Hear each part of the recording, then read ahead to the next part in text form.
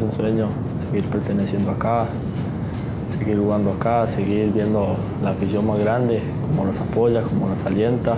Siento yo que la clave es el trabajo, el trabajo que, que uno hace el día a día. A veces trabajar aún más que los demás, dar lo mejor de sí mismo, aprender un poquito de, eh, de las cosas buenas que hace cada jugador. Sí, esos son aspectos que, que suman en realidad. Eh, yo creo que a título personal, con el respeto a todos los equipos acá en Costa Rica, lo más cercano a, la competencia europea es Aprisa. Tiene un estadio donde hay 18 mil, 19 mil aficionados todos los domingos y acá lo, los compañeros me han recibido muy bien. Todos acá en la institución han sido muy abiertos, respetuosos, amables y al final eso hace que uno se sienta en, en una familia. Y ahorita estamos logrando grandes objetivos y estamos a las puertas de lograr algo muy, muy grande, muy añorado por todos. Entonces, desde, pequeño, desde que jugaba en las plazas ahí con mis amigos, él siempre me decía que, que trabajara duro, que yo iba a llegar, que seguir haciendo las cosas bien.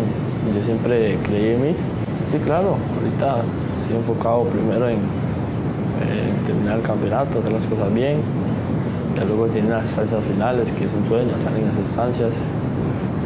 Y la afición que nos apoya, que siempre está con nosotros, ahora nos van a apoyar mucho más, como siempre lo han hecho.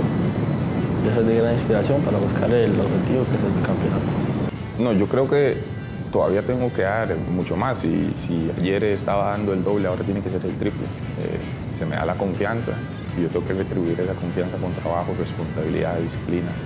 Y creo que hasta el momento lo, lo he hecho de buena manera y espero seguir esa línea y como lo comenté con uno de, mis compañeros, este, el haber renovado para mí es un aliciente que, me hace muy feliz y tengo una, energía renovada, eh, expectativas claras de, lo que quiero acá en la institución. Entonces voy a seguir trabajando con humildad, tranquilo y esperando la oportunidad.